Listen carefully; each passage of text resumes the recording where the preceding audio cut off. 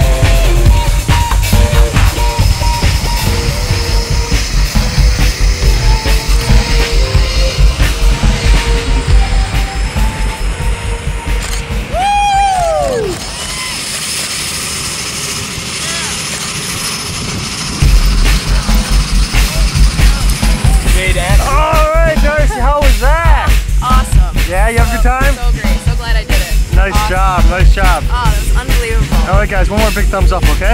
Awesome. Gotcha.